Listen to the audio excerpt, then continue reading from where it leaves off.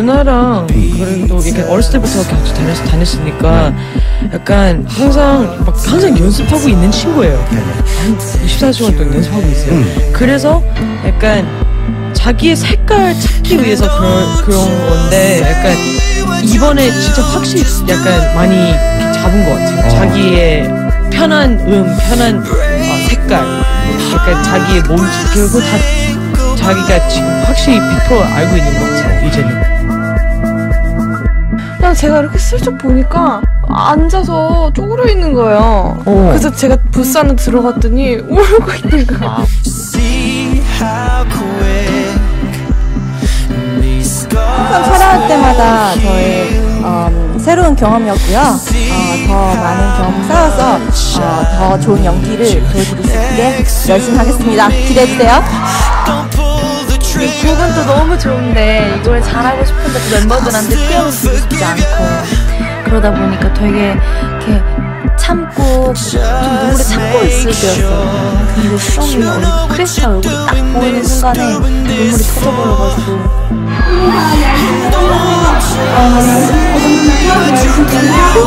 Heart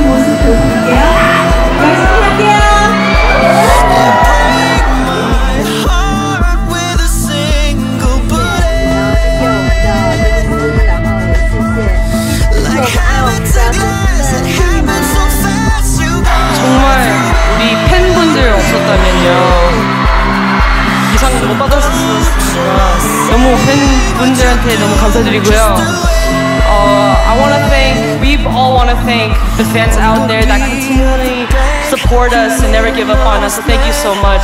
啊，我们的粉丝朋友们，真的谢谢你们一直在支持我们，希望以后能多机会能见你们，谢谢啊。 어떻게 보면 개인 활동하니까 또 많이 바쁘고 그랬는데 진짜 이 앨범 그 준비하기 전에 딱 모여서 진짜 오랜만에 모여서 네네. 진지하, 진지하게 얘기했거든요. 우리가 같이 있는 시간 많이 없어도 새벽, 새벽까지는이라도 연습하고 막 곡 녹음 막 얼마나 해야 되고 그렇게 하, 하자고 했어요.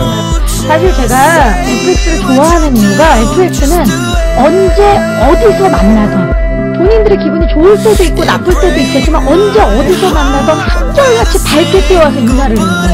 이 지금 FX를 유지하는 힘이 아닌가 싶어요.